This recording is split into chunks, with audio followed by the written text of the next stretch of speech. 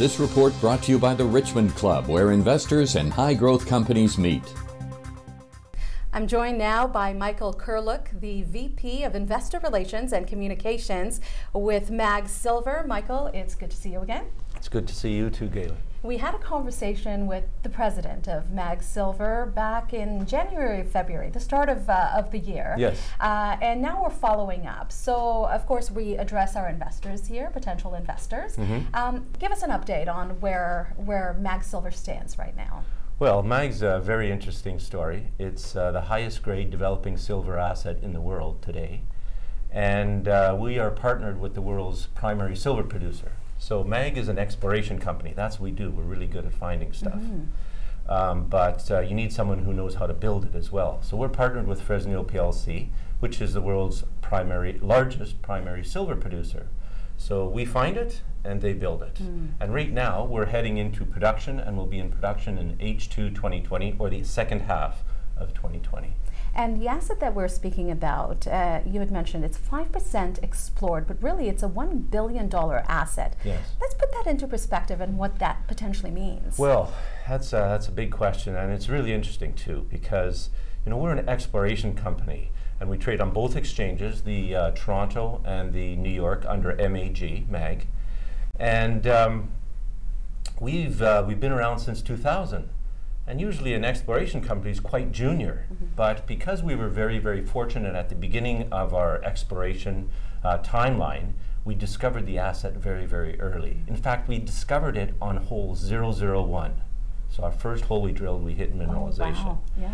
Now, we were because of that, the stock went up quite significantly, and we were able to finance and therefore grow the company significantly. So that's where you find us now. We only have 86 million shares out, and we're a 1.2 billion dollar company, Mhm. and we're not in production yet. Right. And there's a lot of upside between now and getting into production. You could get technical or mathematical why that's going to happen, Mm. but it's definitely going to happen, as well as the other value we add. Now, what your first question was, or the first part of it is, well, 5%. We've only um, discovered or explored 5% of the property. Mm. And that's simply because we can't get away from ourselves. We sink another drill hole, we find more stuff. We sink more, we go, we'd like to go over to this part of the property, we'd like to go over to that part of the property. Right. Our property is 16 kilometers by 7 kilometers, but we've only done 5% and we're a billion dollar company. Let's talk about location for a moment. And of course, in real estate, we say location is everything. And in this case, it absolutely is. You're located in Mexico, known for its silver deposits, of course. Uh, so let's talk about that. What does it mean to be in this location, and what does this mean for an investor? Sure. Well, if you're looking for silver in the world, you go to Mexico. Mhm. There are 15 assets that are over, are over a billion ounces in the world, 15 of them. Eight of them are, are in Mexico, and four of them are in the region that we're in. It's called the Fresnillo Silver Trend. And within the Fresnillo Silver Trend, we are now the largest district, I guess you could call, or region within that area. So if you're looking for silver, that's where you go. We actually happen to be uh, right in the bosom of the uh, concessions or the properties of, uh, of Fresnillo PLC, which is the world's largest primary silver producer. So um, you said location is most important in real estate. Well, it is in, in mining too. You, you go where they found, someone else has found it. And you mine as close as you can to where you find it. Mhm. So location, location, location is similar in, in mining too. I'm assuming that infrastructure then is probably to an extent there. uh, In the surrounding Wow. areas as well, uh, because of the fact that this location is so rich. You're more than correct. Um, it's funny because uh, they've been mining here since 1552. So for 500 years, you know the Spanish conquistadors and all those guys. Well, they started and founded in the state of Zacatecas, uh, and uh, and they founded in our region in 1552. The, the company that is operating building for us has been there for 130 years, and they're the largest silver company in the world. And uh, so, what do you do? You go to the place where you can find it, you find the best asset, you partner with the best guys, and ultimately you're creating value for your shareholders, and we represent that value in a $1.2 billion company. clearly some very smart decisions made uh, on, on MAG's part here. Um, let's now shift to the investors. And of course, the investors are who we speak to at the Richmond Report.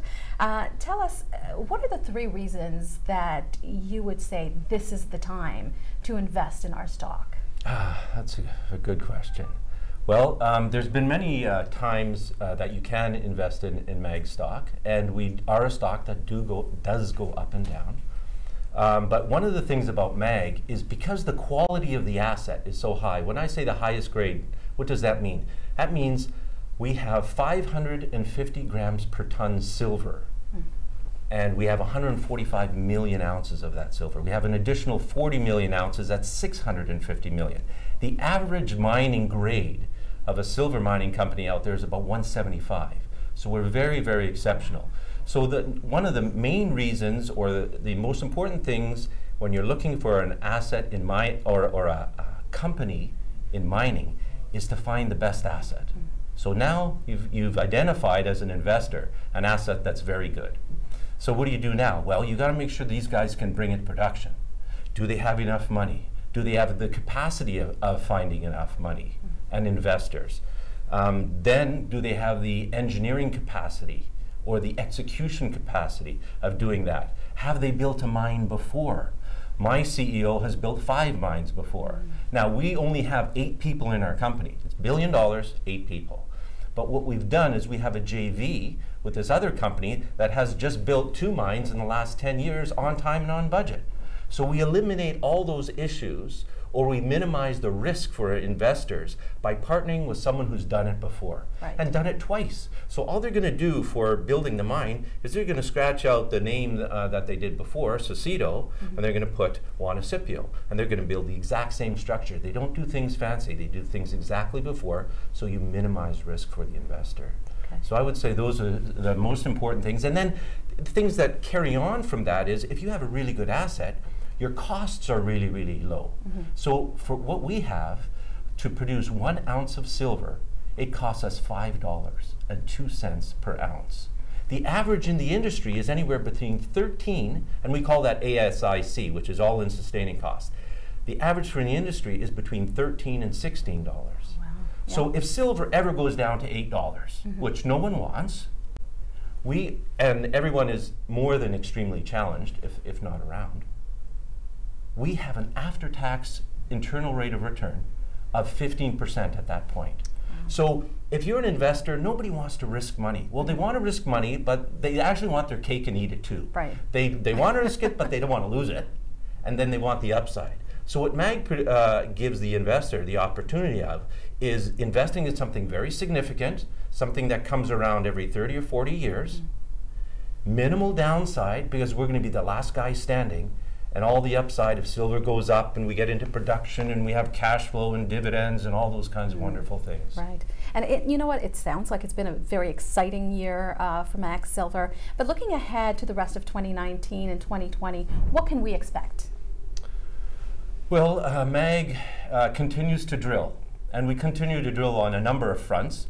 Um, some of them are a little more boring than others because we just keep finding stuff. We're, we're, we're explorationists, so we want to find something significant or something that's going to blow your mind.